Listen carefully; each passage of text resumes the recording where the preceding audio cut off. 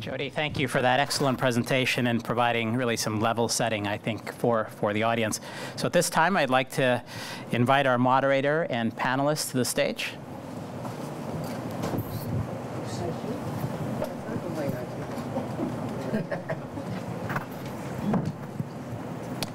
Something the male participants understand. No, We have shoelaces. So our moderator for this morning is Gail Wilensky. I think many of you know Gail. She's a senior fellow at Project Hope and a former administrator of the Healthcare Financing Administration. Gail is also serving as one of four co-chairs, along with former Senate Majority Leaders Tom Daschle and Bill Frist, and also Andy Slavitt, on a new bipartisan group of health policy experts here at BPC to identify a path forward on healthcare reform.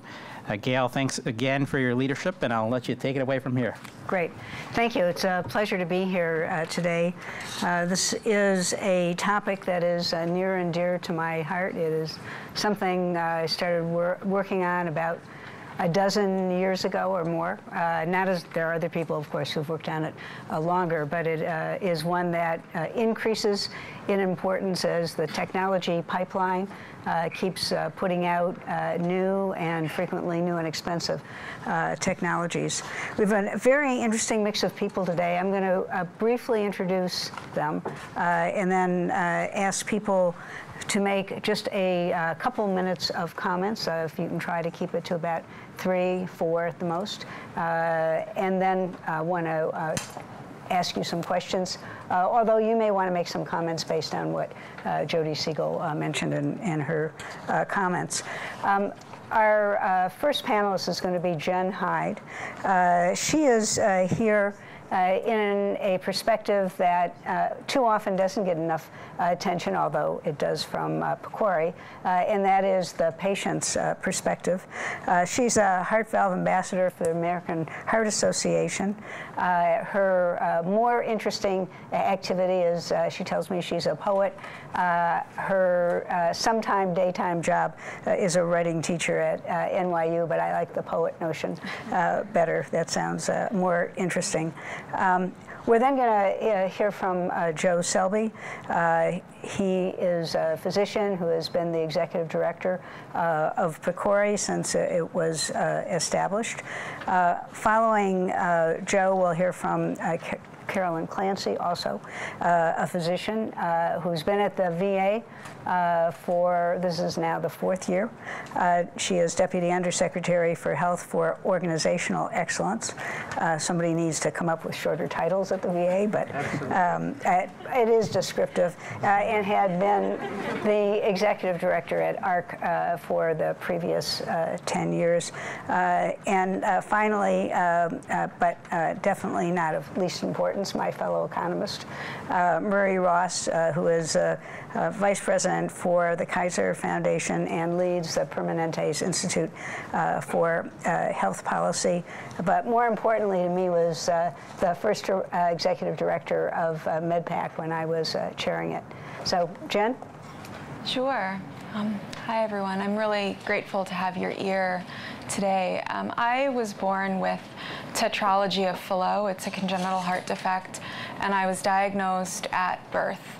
Um, I didn't have very much of a pulmonary valve, and I had a hole at the bottom of my heart. Um, my parents were advised that I have an open heart surgery. Uh, sometime earlier on, they were told by doctors that I would forget the experience, though I have these dreams of waking up from that surgery still. Um, eh, in 1988, I had my first open heart and I received a shunt where the valve um, would be or could be. At the time, the research was approximately as old as me, as I think it always might be. Um, but I, my, my parents were told, you know, she probably, I probably would not be very active, um, very athletic, but that I would lead a fairly active, normal lifestyle. Um, so I, I grew up with that experience and, and grew up with that knowledge that I had been fixed in some way. That was a word that was given to me for my narrative. Um, and I moved through the world as a fixed person who was not athletic, but I think it was more because I was clumsy than, um, than uh, not being able to, to play sports.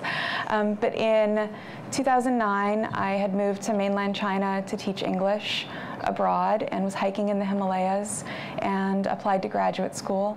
Was accepted to NYU to uh, study poetry and um, and when I came back to the States, my mom advised that I get back on my parents' health insurance and that I go see a cardiologist. It had been a number of years since I had seen one.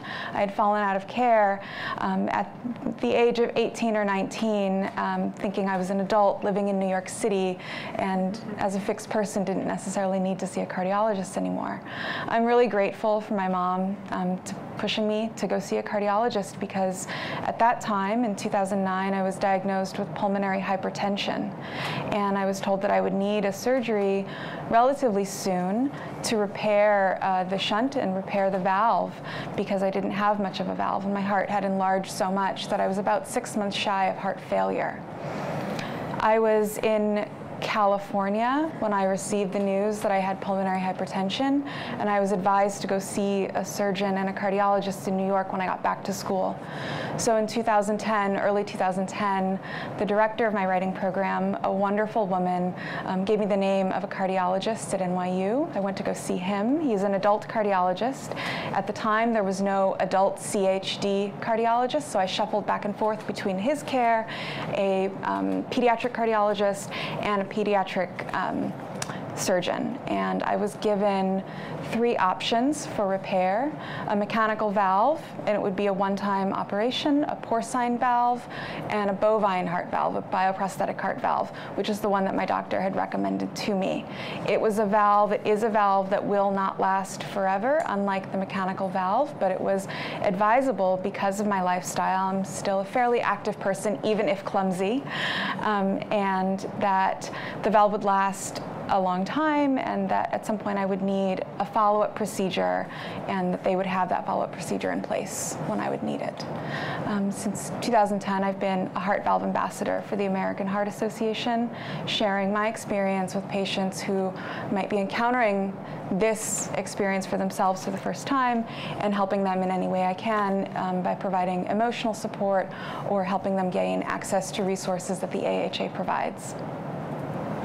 Thank you. Uh, Joe, um, can you talk a little bit, uh, given uh, the perspective uh, that you uh, have as a result of being at PCORI, uh, about how to make sure that comparative effectiveness remains patient-centered, and then what can be done to actually make it as patient relevant as possible? Sure. Well, um, as, as you remember, um, 2008, 2009 was a time when, although a lot of people were enthused about comparative effectiveness research, and, and AHRQ had already uh, really uh, made some real uh, major steps in the methods of CER. There was also a lot of concern about uh, the fact that CER was really nothing more than an attempt to keep uh, newer, better, um, in parentheses, um, more costly, also in parentheses, uh, services um, from widespread use. So there was a lot of worry about that. So we were named the Patient-Centered Outcomes Research Institute in the Affordable Care Act rather than the CER Institute. And uh, I like to say, you know, what's in the name? It, it made all the difference, uh, and it focused our board and our staff on the notion uh, that, that really healthcare is about serving patients and by and large, for the last 50 or 60 years, we've made decisions about what to research, what to consider as the outcomes, and, and what to recommend, not so much on the basis of patients um, as on the basis of, um, among other things, um, scientific interest, uh, convenience, uh, one person at the institution where I used to work called us the physician-centric delivery system. Uh, um, so, um, but I, I, just want to say that I think Jen's presence here today illustrates that uh, patients face major decisions, many patients, people face major decisions. They come to those decisions with a distinct set of um, uh, life experiences, goals, uh, aspirations. Uh, and they also uh, are well equipped to be articulate, if not always poetic, um, um, discussants in the uh, decisions about what's important to research. So, to your question, Gail, um, we've hit on the notion that patient-centered outcomes research or patient-centered CER means comparative effectiveness research that that that studies comparisons that matter to patients, choices that matter to patients. I hasten to add, this doesn't mean that you are sitting in a room and the patient raised the question. Patients aren't always the only ones that have questions. A clinician may have raised the question. A payer may have raised the question. A policymaker may have raised the question. But, but in the end, we say, does this question matter to patients once they've been informed as to why the physician, payer, or policymaker wants to know? So, does the question matter? And the second important part is this is outcomes research. So, are the outcomes that we're studying the outcomes that patients need, need information on? Here we really are asking about patients. So, yes, we'll study mortality. You know, this valve procedure has a 2% mortality rate, where this other one has a 4% mortality rate. That's an important piece of information. But also, will I be able to be a clumsy athlete, or will I be able to uh, walk up a flight of stairs? Um, uh, will I be able to continue the activities that I was doing? Uh, and also, I will say, what will it cost me? What will the out-of-pocket cost be for me of these two? Those are all things that real patients consider. So, uh, is the comparison right? Matter to patients, and do the um, outcomes meet the needs of patients? So I think that's how we make it patient-centered, and we do that by involving patients and the other stakeholders I mentioned in everything we do. I'll be quiet after I just say one last thing, Gail, and that is that um, Jody mentioned that comparative effectiveness research is really the way we get uh, the answers to clinical questions that patients and physicians have. So uh, the types of research that get new products on the market leave us short of information about who it works for and how it works compared to what we did yesterday. Um, that's very important.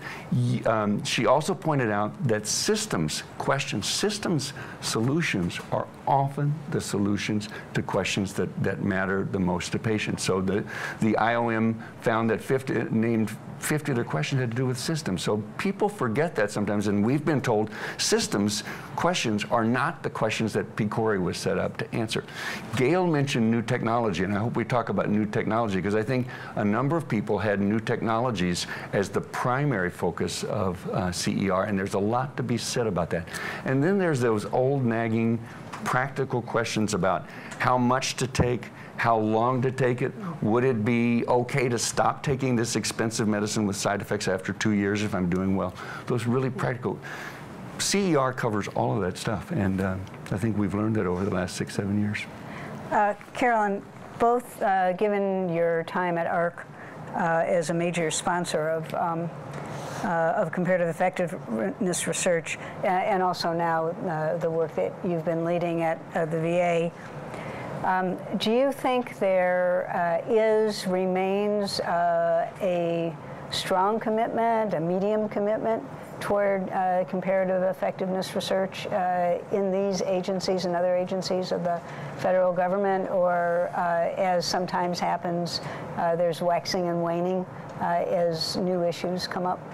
So I think the interest remains strong, even if that's not always the headline. And I'll explain a little bit about uh, what I mean there. Um, first of all, I'm very happy to be here on behalf of VA.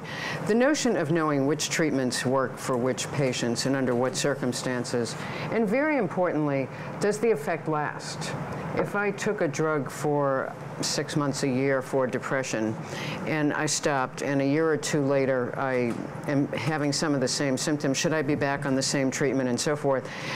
Really, our literature is pretty silent on a lot of those questions, although they're pretty real to uh, lots of patients. Um, I think many of you may be surprised to know just how strong and uh, comprehensive a portfolio the VA has in research, so I wanted to mention uh, just a couple of examples. One of the aspects of it that makes it very uh, unique is that more than 60% of our investigators provide direct care in our system. So trying to figure out which treatments work for which patients has been, I mean, it's an organic part of what we do, and then getting that information out to clinicians and patients all across our system.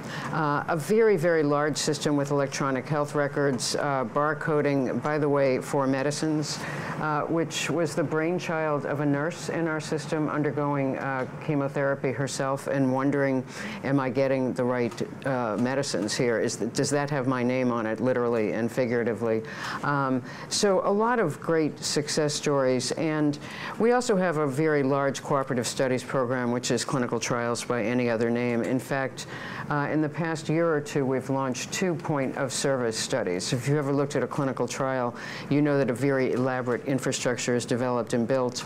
And then when the study's over, the infrastructure goes away, the people move on to other positions. And the question has always been if we're collecting all this data in patient care as a result of providing care, could we use that for studies? And we've got a couple of those going on now, which drastically reduces the investment needed to answer uh, very important questions. And the last example I'll just mention, um, we had to actually make research investments in figuring out what were the best treatments for veterans experiencing serious mental and behavioral health issues. So we learned in a study of women veterans, for example, that prolonged exposure therapy was more effective for veterans with uh, PTSD. This was not a question that someone came to us spe specifically, but it was an experience and diagnosis we were seeing more broadly among the veterans uh, returning from recent conflicts.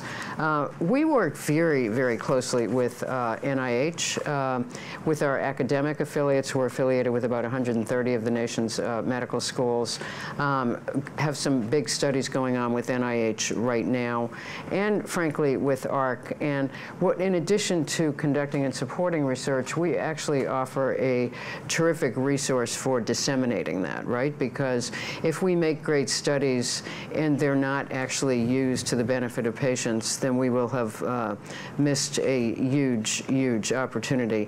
I think what we will see in the future across all these agencies, and VA has a big role here, is incorporating new information. So we have something called the Million Veteran Program. Over half a million veterans have enrolled.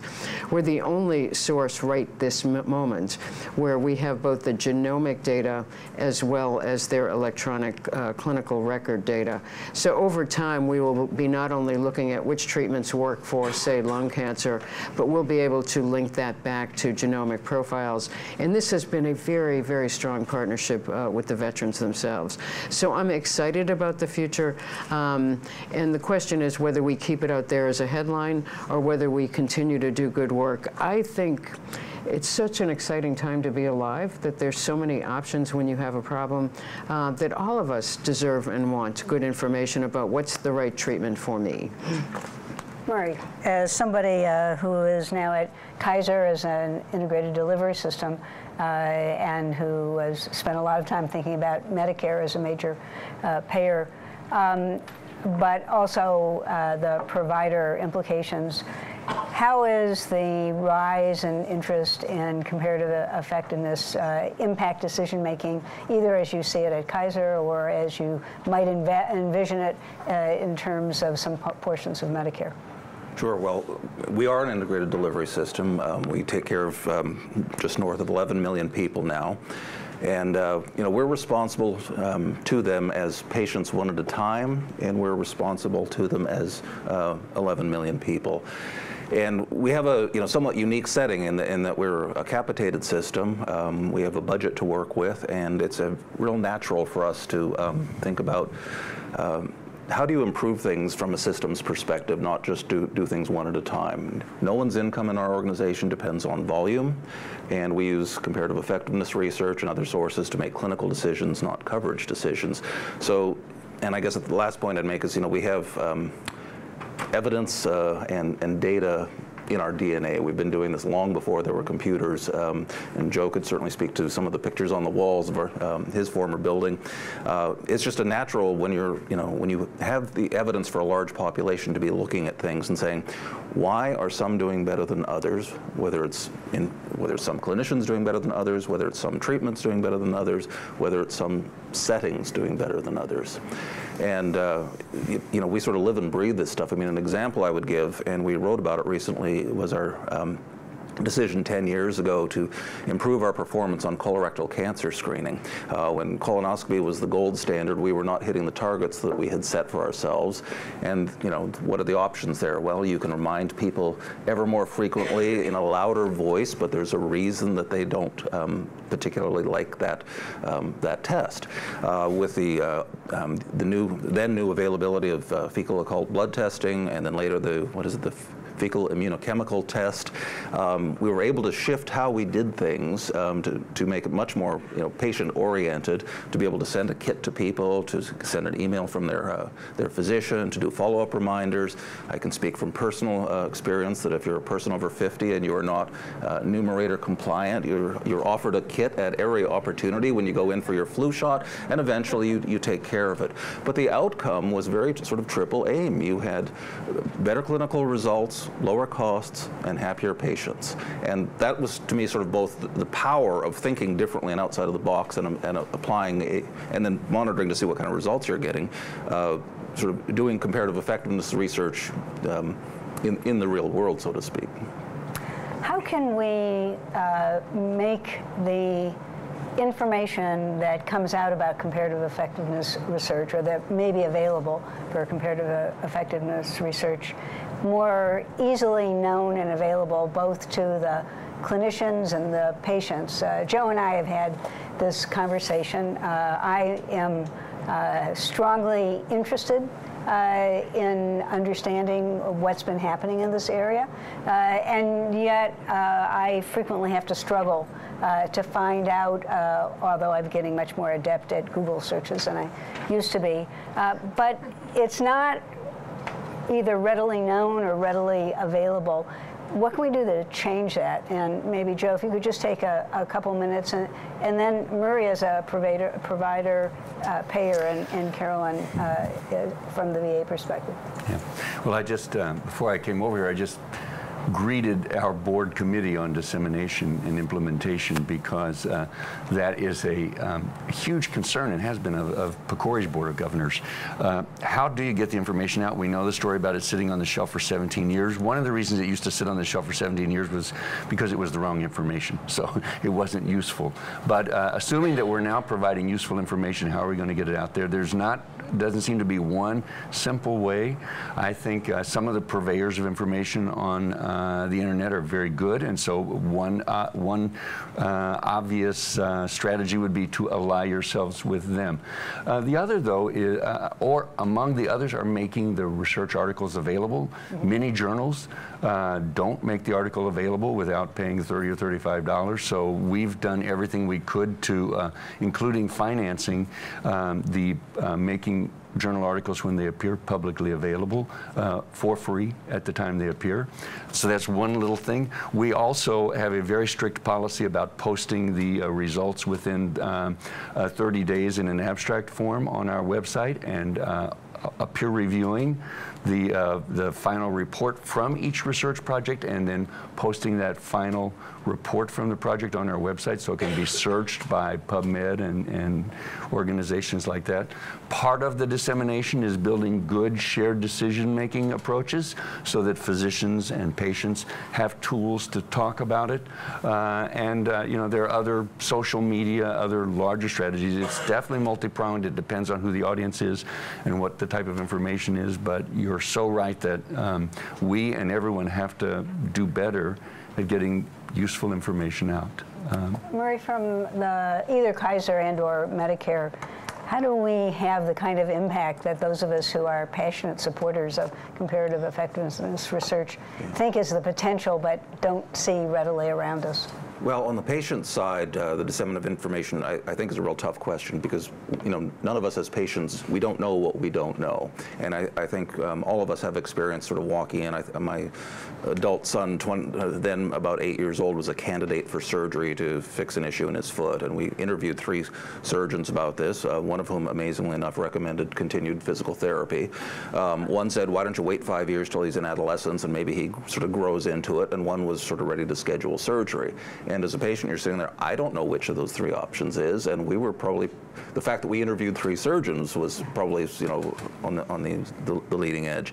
So I, I don't know what, the, you know, I don't know how to address that, but those are big challenges. On, on the provider side, um, our success is because of the links between the questions being raised by our physicians feeding into the research process, either in-house or, or, or with um, you know, going out to the journals and, and, to others, and then feeding that back to them um, in form of clinical decision support. But it's entirely contained within uh, the medical groups themselves. So they're they're getting their information from their peers, people they trust. They know it's been vetted. They you know they they know it's scientific. Uh, that trust piece is harder to do when things are just sort of you're being fed something because you found it through a Google search or a PubMed or whatever. It's okay, you found one study. Uh, does that represent all of the literature? Is there something new? Is there something coming out soon? The, the volume of information um, is, to me, one of the biggest challenges out there. Carolyn? Yeah, I'm a tad more optimistic, I think, on the patient side. Um, Part of the issue is, of course, we put information out about, from research very broadly. Uh, if we're lucky, the media picks it up and so forth. Uh, in general, you're not going to have these questions uh, as a patient until you have a decision, right? Um, which is not a huge majority of the population at any given point in time. I'm very excited about some of the work that AHRQ had launched on decision aids. Uh, because it, they required a lot of in-depth work to make uh, all of the concepts that Dr. Siegel presented so clearly to us extremely relevant to people who don't think about these issues um, at all. I do think uh, we will be seeing more and more, and this is a big theme at VA, about patients as partners in the enterprise, in which case patients will be asking more questions. Uh, and that drives some of this enterprise. And frankly, I think that we'll see more apps, mm -hmm. which I think is exciting. And long ago, we did a study about how do you get doctors' attention and uh, from good evidence and so forth. And if you think about the context of a very busy clinician, right, this, the response and the final conclusion makes a lot of sense. I want to know right now what's the answer or what are the two options. And then I, this is long before you could hyperlink, okay? And then I want to know where's the evidence. Can I check mm -hmm. that this isn't just a statement as in I think X approach is the best. And I think we'll see more and more of that coming out of patient groups, particularly because of PCORI's investments. And last, I'd say social media is likely to have an impact, in which case we, the research enterprise, ought to be thinking about about cultivating journalists because what they read is going to drive what gets picked up in social media feeds.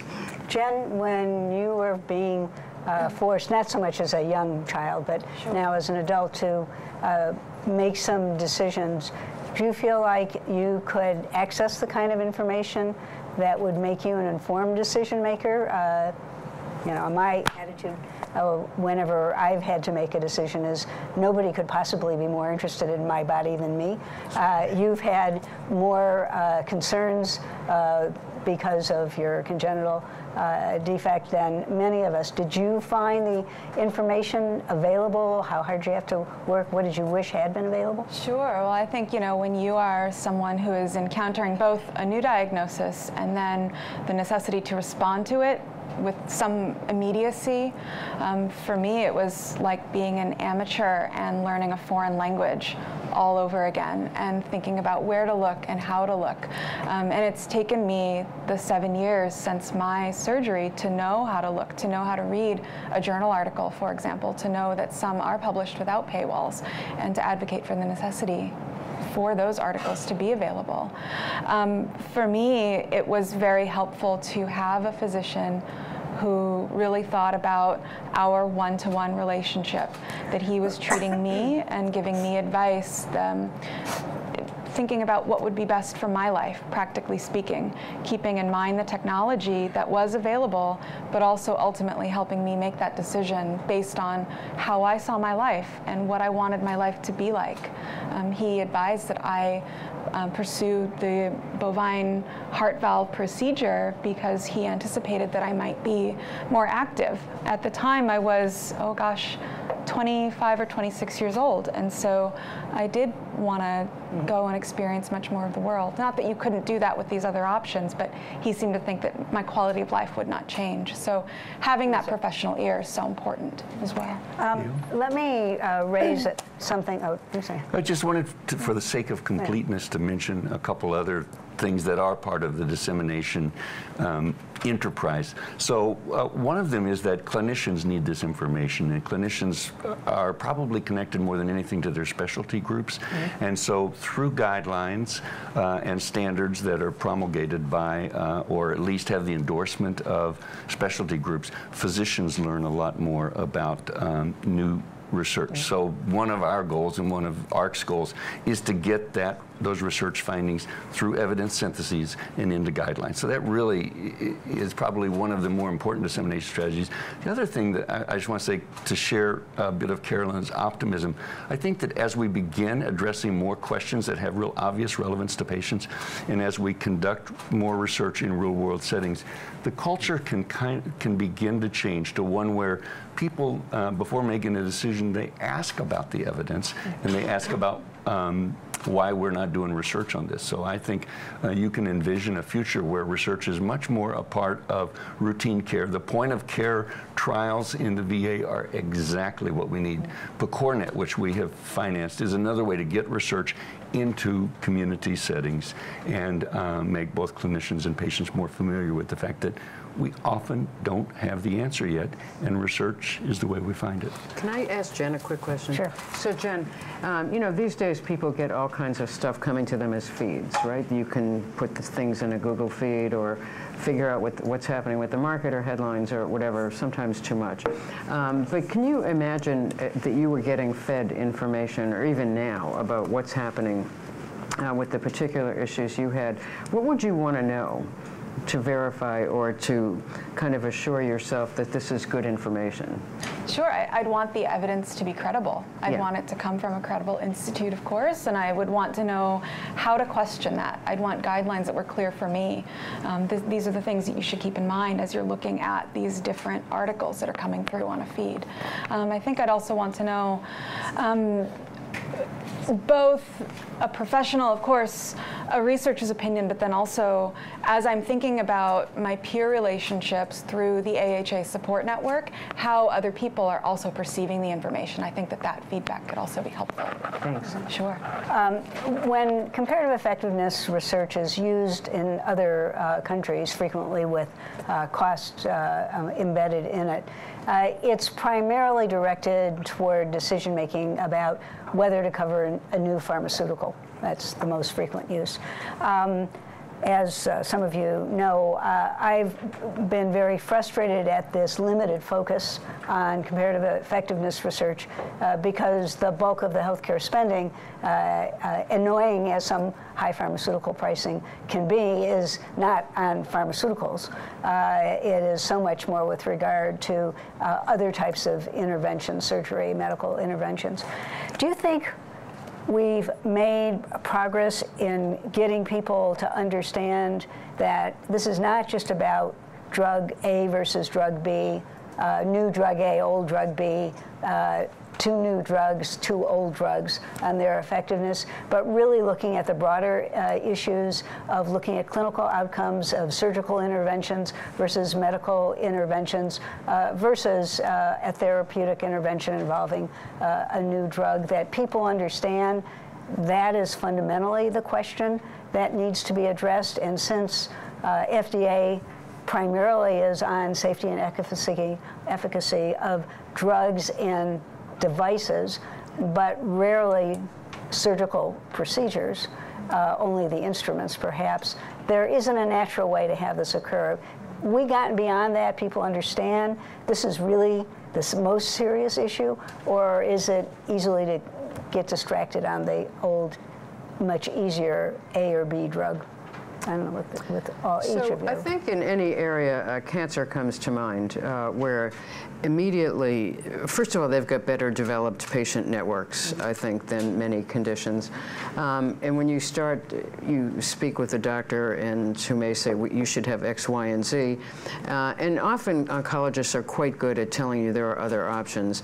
And some of that's about timing too. Do I have chemo before surgery or later, and so forth.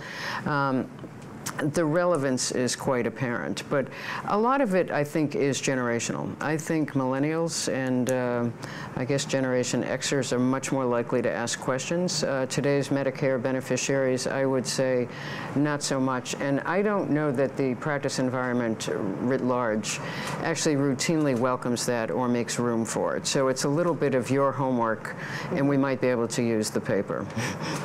Joe, and then yeah, Mary. I would say that, um, well, our legislation told us to, number one, focus on high burden uh, conditions so that, and it included uh, burden to society in terms of costs. And if you look at our research portfolio, it really is uh, concentrated predominantly on conditions that are prevalent and costly. Um, I think it's a testament to the fact that it's not just the A versus B. President Obama didn't get it quite right when he talked about the red pill and the green pill. Um, uh, there are some of that in our portfolio, but really the vast majority are about the role of procedures versus uh, uh, medical approaches, about system level interventions to improve the coordination of care or transitions in care. Um, I think um, that is very consistent with the type of research that we need to do to save to avoid waste and save money in our healthcare system. Um, systems like the VA, like Kaiser Permanente, naturally gravitate, I'd say, to those questions. It's totally obvious to them where the resources are going. So. Um, uh, comparative effectiveness research applies to much more than A versus B. A versus B, especially when it's new drugs, presents some special challenges. I'll come back to that Okay, good. Murray? Yeah, well, I was just going to say that the, uh, you know, if you're speaking to a lay audience, the, the red pill, blue pill thing kind of, you know, make, makes sense. But if you look at the, the options that are out there, I don't know, what does it say for prostate cancer now? I think there's seven options ranging from proton beam to watchful waiting um, with mixed evidence for at least six of them. Uh, but to Joe's point, you know, an integrated system has a bird's eye view, and you you can you know you can look at people rather than just at organ systems or particular conditions, and and be able to consider alternatives. Whereas, you know, if you're if you're a surgeon, you do surgery, and it's sort of not your job to be thinking about all the other possibilities. But as a system, it, it is your job to be thinking about it. To your other point, Gail, on sort of the, you know, thinking about the cost side, I mean, we're very reluctant in this country to talk about opportunity costs, but not talking about them doesn't make them go away, right? It's, it's still there, so. Do you see the private payers, Medicare uh, clearly uh, at the moment has no uh, legislative authority to introduce any sense of uh, costs uh, in terms of reimbursement uh, and has been explicitly directed uh, against the uh, PCORI uh, outcomes uh, finding in terms of some of its uh, decision making. Private payers uh, could, in principle, make use. That's I'm not. I like. Uh, uh, the CER more as a guidance for reimbursement than coverage. I'd rather just stick with the FDA rules for uh, coverage. Do you see this uh, either as uh, slipping into use, as uh, coming into use, as too scary for most uh, payers to want to touch? I think it's very hard for people to get too far from the herd. Good, good answer. um, uh, Joe mentioned uh, something, the challenges of, uh, of new technologies. Um, it's actually where uh, comparative effectiveness research is uh, most typically used in other parts of the world uh, is on the decision as to whether or not to cover a new drug, usually, occasionally a device. Um, and it's because it's uh, in a group that has a global budget and therefore a fixed limit on their resources. And if they cover this, then they aren't going to be able to cover as much as something else. Um, you were raising some hesitancy about uh, the uh, ability of uh, CER uh, to look at new technologies versus existing technologies. Uh, do you think it's do you need a certain amount of time on the market before you really know, or are there were there other reasons for you uh, trying to Well, raise if, that? if, if you just think about it, when the drug gets approved, it's gotten approved on studies of a, typically a drug versus placebo. That in, in, in most instances, not in cancer, but in most. So we just want to know, as you said, that the drug works and it gets in the market. We don't know how it compares to another drug. Now, from the patient's point of view, they want to know about a range of outcomes. And so if you were to mount a comparative effectiveness study the day after a drug got approved, you'd have your result in about five years. What shall we do for the intervening five years? Now, there may be some ways to take some evidence that's sitting around. You certainly know how old drugs do. You tend to know that. And maybe there are some indirect comparisons. And I think uh, what we've tended to do um, in, in this country a bit more lately, and what's done in other countries, is to do models with a lot of assumptions. Um, those assumptions, that's a word for lacks of, lack of evidence, so we will substitute something that's a, a good guess. And um, uh, you know, that, that may be the best we can do, but in terms of mounting the new CER studies, we have to face the fact that it takes a while. One thing that could be different is we could get those studies planned at least, or even underway before, uh, uh, earlier in the cycle, so that we're not, you know, the, we, we don't take off the day something gets approved. We've, we've really been looking at this, and when I say we, I mean payers, manufacturers, um, uh, uh, patients, looking together uh, and planning how this new treatment, which looks like it's coming into play in the near future, how it fits into the overall approach to patients. Um, so we could be more planful than we are, and um, that's kind of the best I've been able to come up with. You know, we've PCORI's taken some hits because we don't come in quicker on new drugs, and um, uh, and, and the answer is that uh, we'll be glad to do the studies, uh, um, but it will take a while. The second wrinkle is in this, while we're waiting, and uh, let's say insurers, Medicare or private insurers, are unwilling to pay for the drug, our legislation left hanging the question of who would pay for the drugs in a comparative effectiveness study, and it's not, the manufacturer is not always motivated to compare their new product with another, and, and, and payers have not seen it to this point in their interest to cover the sort of coverage with evidence development mm-hmm. kind of approach that Medicare has at its disposal but does not use all that often. Uh, my impression, although this may not be correct, is there was some debate about whether Medicare actually had the coverage with evidence development legislative authority. Uh, I don't know whether you know whether that was ever clarified. I thought it was a terrific way uh, to uh, not say no or yes, Yes. But to gather evidence. Uh, what Medicare has traditionally done is allow the local carriers uh, to cover or not cover, uh, but that didn't generate any evidence. Uh, so you had differential use, but no evidence if you get the uh, coverage development. We'll try and get that uh, resolved uh, after the fact. Yeah, you had raised that question some time ago, Yeah. and I think it's a very, very uh, important one. And some very important studies and efforts were launched. For example, uh, expanding the uh, number of people who would benefit from an automatic defibrillator, and working very closely with the College of Cardiology and others to make sure uh, that, in fact, as we were expanding the number of people who were likely to get that treatment, we would just learn how they did. It didn't say no. It just simply said, we won't pay unless we get some information back. Making that practical outside of the hospital, I think, is a little bit tricky, um, but I I think doable. And it'd be interesting to know if, if it was solidified. We'll try and make that. Uh, Murray. Just very briefly to pick up on, on uh, Joe's point about sort of the, the lags here.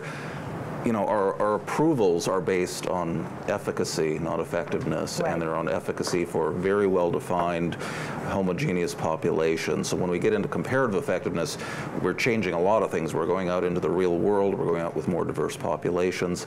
Um, there's there's a lot to be learned there, even before you get to the comparative piece of it. Right. So, so it's a and usually not one change at a time. yes. We are out of time for our uh, panel, but have time now to uh, uh, ask uh, to see whether the audience has questions and answers? Or uh, questions from you, and we'll see if we can provide you with the answers. I'm invited back. Ah, okay. Yes. Hi, I'm Ron Goetzel, uh, Johns Hopkins Bloomberg School of Public Health, and also uh, Truven Health Analytics, IBM Watson now. Uh, two questions. One has to do with the focus of comparative effectiveness research, PCORI funding, which sounds like it's mostly 90 plus percent clinical, things that inform the U.S. Preventive Services Task Force. Is there any thinking, any, any uh, potential research that might inform population health, things that would be used by the uh, community guide, the Guide to Community Preventive Services, things like different ways to prevent obesity in a population or different types of incentive designs in uh, health benefits. Uh, so that's the first question. The other is the different methods that are used in comparative effectiveness. The emphasis is largely uh, RCTs, randomized clinical trials. How much importance is being given to quasi-experimental studies using archival or administrative data? Two big questions, but try to answer them crisply, please. We'll do. Um, the first one, we take the word clinical in our name, in, in our mandate to do comparative clinical effectiveness research fairly seriously. But on, on the other hand, we are heavily invested in obesity prevention and obesity management in childhood and adulthood. Uh, it has a clinical flavor, though. What is the role of primary care? We, we probably wouldn't fund a study about um, programs or uh, uh, about food deserts, for example. Just, just. Uh, and the second question uh, was. Uh, Different. Uh, Yes, yes. Um, about 70% of what we've funded to date in comparative effectiveness has been randomized trials. And that's because sometimes the differences are small and the, and the chances of confusing, confounded uh, results in observational studies are large. But I will say that I'm a little surprised uh, that we don't have more natural experiments or quasi-experimental. That is, two state Medicaid programs approach the same problem with different strategies. Which one works better? Well, let me just say this: we would entertain and love those more of those kinds of studies. We don't have a lot of them now. I think it's a great question, and I think there's a lot of potential there. Okay, researchers, you heard it her- here first. Who has, there's,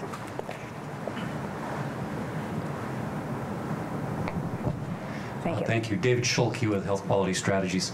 Um, it was, uh, Jen gave a great example of a terrific way of getting a patient-centered, you know, pretty thoroughgoing comparison of treatment options. Um, but it, my sense uh, from my son's chronic disease and from just being alive in the world and looking at some evidence is that clinicians are not really across the board very effective uh, at shared decision making. Um, Dr. Selby mentioned the research on this. Um, I'm wondering if the systems, uh, if the closed systems, the Kaiser system, the VA systems have ways of assessing, routinely assessing, and providing feedback to their clinicians so that they are more effective at shared decision making, where they take into account what the patient's life, lifestyle preferences are at the end of life or at any other time. Have you got any kind of mechanisms for that uh, to routinely improve shared decision making? Uh, Murray first for Kaiser, and then, Sure, a couple things. Um, One is we have shared decision-making tools available, you know, on our, on our website for our members to use.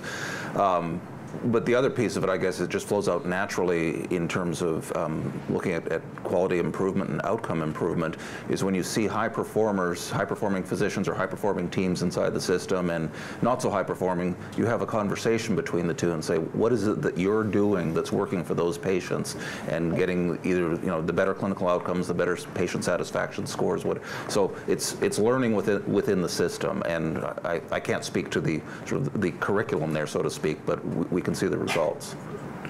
So Carol. one example that we have is actually group visits that focus on advanced care planning.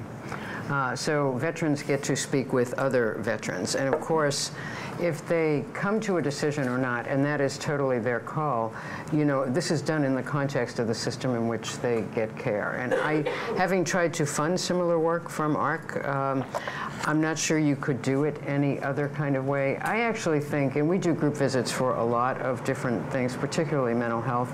I do believe that that's one area where we could mine more. How do you use this information? So rather than Jen going to her peer networks, right, as a sort of separate enterprise from getting one-on-one care, it might actually be a little bit more uh, integrated. There's a question.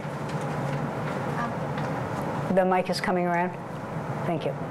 Hi, thanks. I'm Jeannie Baumann with Bloomberg BNA. I was just wondering if you could comment on the proposal to uh, fold AHRQ into the NIH and how that would, um, if and how that would sort of shape the direction of this uh, field of, of research and you know what that kind of means on a policy level. Um, since I don't, I have no constraints, I'm fine answering that, but would some of the uh, panelists like to uh, answer that? I'd be interested in what you have to say. Oh, okay. um, this is the issue about whether AHRQ can be, should be a part of uh, NIH has been going on for the last 40 plus years. I've been a health services researcher, uh, starting uh, as a health services researcher at the predecessor agency of uh, AHRQ, then known as the National Center for Health Services Research, for those with long memories. Um, I'm a little worried, uh, but I think the major issue uh, is whether or not they will be a separate center with their own budget. Uh, that is uh, the most um, assurance, I think, uh, that AHRQ can have that its functions will remain uh, intact, whereas if it is diffused uh, across various centers, it will be very hard to have that happen. Um, I preferred the standalone agency. Uh, we spend precious little on health services research. Uh, we spend a ton of money on healthcare uh, utilization. Um, strikes me that uh, this has always been an incredible uh, imbalance. Um, I hope that NIH will uh, treat it kindly as a separate center if that's what happens, but I am worried. Any Here's the question. Microphone, please? And then one behind, well, there's two. We'll get them. Hi, Phyllis Greenberger from Healthy Women. Um, in terms of the comparative effectiveness, uh, uh, it, it, looking at different populations, looking at women versus men, looking at Hispanics and African Americans, obviously that makes things more complicated. And I'm wondering, because the dosage can be different, the effectiveness can be different, how are you going to handle that? Um, and also, when the first speak was talking about the aspirin trial, we know for a long time it was based on men, and then when the trial was done on women, it was a different result. So there's still a lot of gaps in terms of what we know in terms of uh, sex differences, and certainly more in terms of minorities. Joe? Yeah. Well, um, you really nailed it. That's why I'm bullish on CER because there are a lot of these questions that we have just um, um, flown over rather than addressed, and we've practiced uh, with very limited evidence. Um, you point out the challenges of trying to understand uh, different dosages, trying to understand how it works in different subgroups of patients. The uh, one obvious thing is it's going to take larger studies.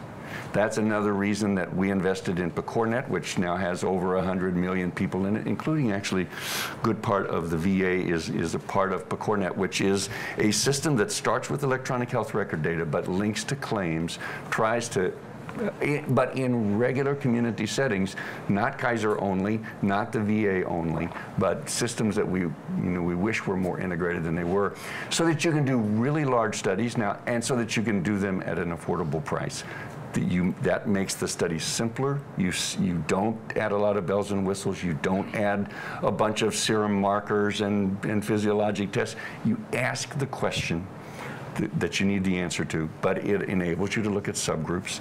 It enables you to look at different dosages. And um, there's a lot, of, a lot of questions like that if we're going to get to really more personalized way of doing healthcare. So Phyllis, let me just say thank you and amen.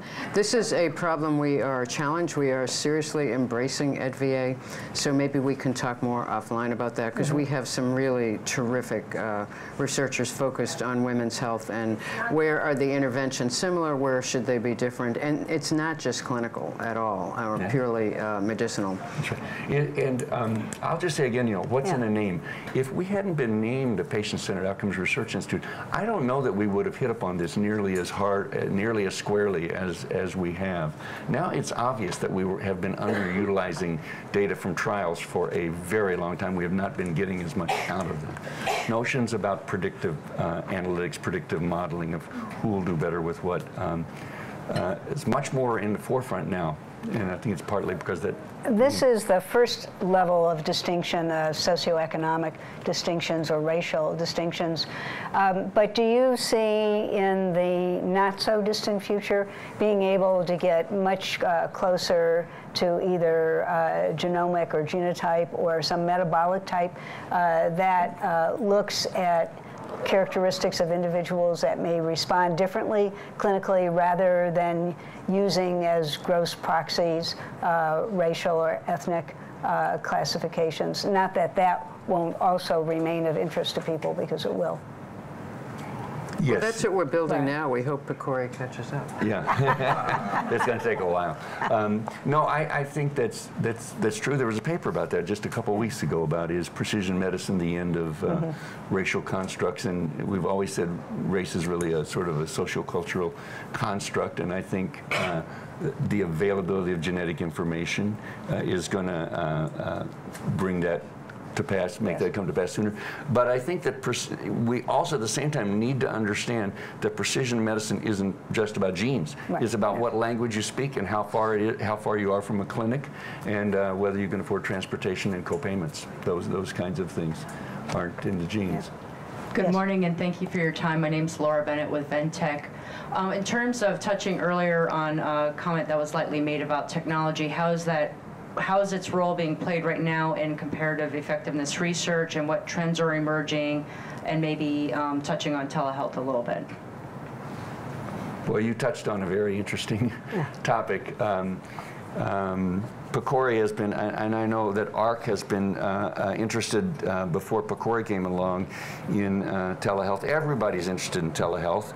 Uh, it does seem to be a way to deliver care. We're reading about the, the uh, challenges of rural hospitals and rural populations. We're very interested at, at. I mean, it's, a, it's one of our priority populations, and, and we have a fairly robust portfolio in telehealth, although I think it could be a lot bigger. Um, things are being done in telehealth now uh, that weren't imagined five years ago. I think people are giving TPA, a thrombolytic, for stroke in tele, using telehealth methods. They're doing it with a van uh, that goes to the farm where a person just had a stroke, and, and uh, with a neurologist back at the uh, University Medical Center is deciding whether to start this person on TPA as they bring them into the hospital. So uh, it's, it's quite amazing. I think technologies in general, we are looking for technologies and, and comparative questions about them that matter to patients, and certainly that's telehealth is one that generates a lot of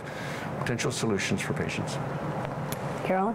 Yeah, I mean, we use telehealth a lot because we are this huge integrated delivery system, in particular for mental health. So um, as I'm speaking, psychiatrists in Manhattan are providing uh, counseling and services to uh, veterans living in very small towns in Oregon. Now, I mean, we, a third of the veterans we serve are actually in pretty remote areas, so it's a huge boon to us, and mental health is not the area at all. And I know some large systems, maybe even Kaiser, have been looking at the telestroke uh, initiative, and I do believe there was a company that was founded by someone from GW. So, I mean, this is becoming real, so it, it really gets rid of that aspect of zip code medicine. And the issue isn't the technology, right? It's the delivery of that uh, very specific alternative in a narrow time window. That's what's really exciting about that. So I think we'll see more of that. Murray, does Kaiser use a lot of telehealth? We, we, we use a lot of uh, virtual care, Virtual care, telehealth, yes. or whether, or even if it's secure messaging.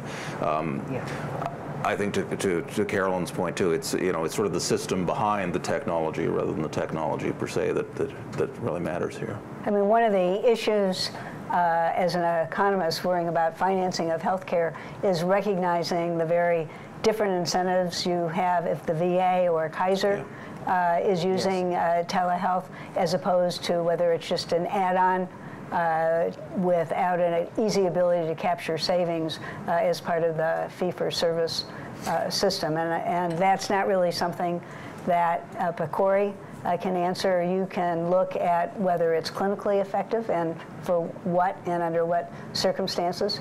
Uh, but the other issue is, of course, does it make sense to adopt it, and, and then it's hard to do it outside of the financing world. uh, I mean, the question is, is it a new service or is it a change in modality of an existing service? Yeah. And does it add to total cost, or does it Exactly. substitute for other? So I just, just want to be real clear that PCORI, in studying this, does study things like resource utilization. Mm-hmm. Did it, did it affect future visits and hospitalizations? So. Oh, that's what, so you can So we try to sweep in You bet we the, the yeah. issues, okay. Any uh, further There's questions? Ah, yes, thank you.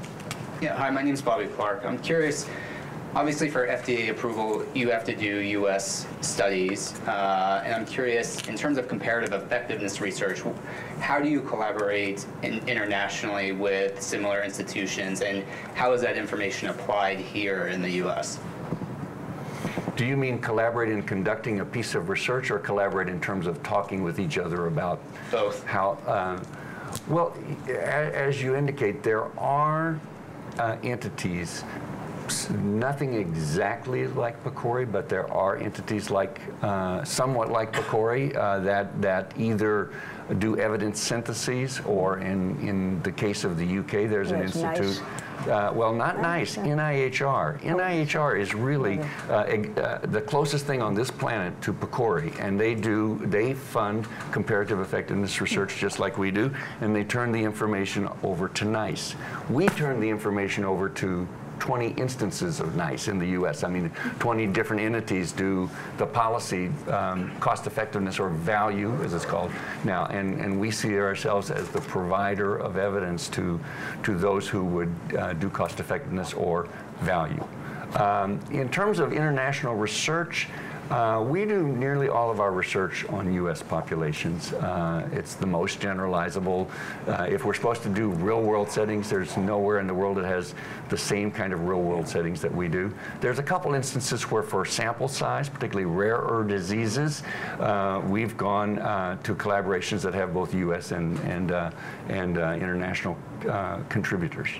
So, particularly in rare diseases, that's useful. Uh, I'm going to ask each of the panelists to make a, a short response to uh, one final uh, question, which is, um, what are the biggest questions you, th- in your mind, that comparative effectiveness research needs to take on that is not now getting taken on? Carolyn? So I would say uh, chronic pain, which I think is a huge, huge problem for this country and certainly for veterans. And, you know, research-wise, it brings in all kinds of complicated dimensions, the longitudinal impacts of treatment, the interactions with complementary modalities, uh, the interaction between the interventions and individuals and the sort of context around pain. So that would be very, very high on my list, and mental health. Um, and is, are these like a series of studies as opposed to Yes. one mega study? Yeah, Is it, you know- and some of them for us are in process, Mm-hmm. but the notion of longitudinal follow-up, I think, is huge, and we have the capacity to do that, and I know that others, PCORI and NIH, are building it. Joe, if you had a major area that you think really needs to get in I. I, I don't think I'm going to let you push me into choosing one because I, I just think comparative effectiveness is simply a way of thinking about the care we deliver. So I think from new technologies to lingering problems like back surgery, certainly chronic pain, mental health, we spend more on behavior, mental and behavioral health than any other single topical area. And we didn't plan it that way. It's just what stakeholders brought to us.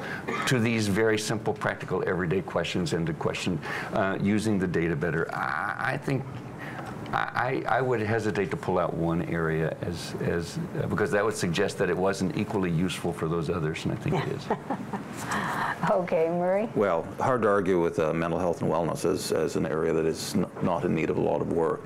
But I would also sort of go outside just the CER paradigm and, and still get back to the dissemination and implementation piece of we could do all the research we want, but if it's not getting uh, to where it needs to be, then it's then it's then it's not.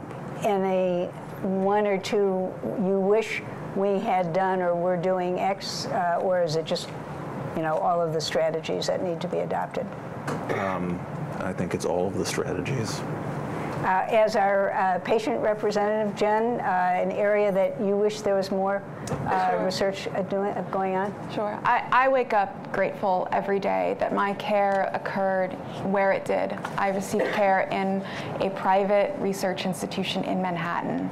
And I'm alive because of that. And I wish that that kind of care occurred in rural hospitals in the United States across socioeconomic and cultural experiences for patients. Thank you. Our time is up. Let me turn it back to Anand.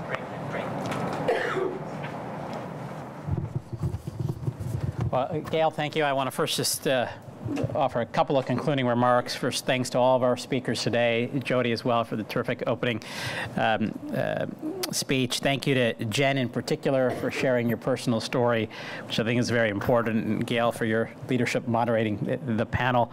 Uh, I want to thank all of you in the audience today for your questions and participation. Really, terrific questions. I want to thank the BPC team as well, uh, in particular Hannah Martin for leading efforts to organize today's event. Uh, as I mentioned earlier at the outset, uh, this is the first of two educational forums on this topic that BPC has organized. Uh, we look forward to seeing you back this summer when we take uh, an even more forward-leaning perspective on where comparative effectiveness research needs to go uh, and how we get there together. So thanks everybody and hope to see you soon. Thank you. Thank you.